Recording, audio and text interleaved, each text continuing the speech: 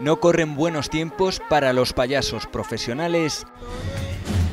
Ganarse la vida con la cara pintada, la peluca multicolor y los zapatones con el loable objetivo de hacer reír a grandes y pequeños no es fácil.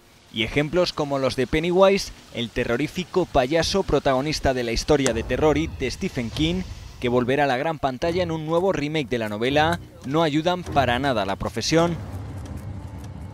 Guilford Gilly Adams, uno de los payasos profesionales que charlaron con Mel Magazine sobre el efecto supuestamente negativo que el remake de It tendrá en su profesión, afirma que se trata de un oficio moribundo y que ahora es cool que no gusten los payasos.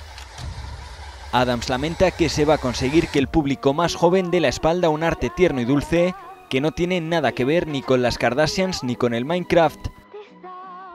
La película que llegará a los cines en septiembre relata la historia de un grupo de adolescentes que se enfrenta a una criatura sobrenatural llamada It que vive en las alcantarillas de su ciudad. Bill Skarsgård, que encarna al terrible Pennywise, la forma de payaso que adopta la criatura descrita en la novela, es el protagonista del remake de It que dirige Andrés Muschietti y cuyo tráiler batió récord de visitas en solo un día.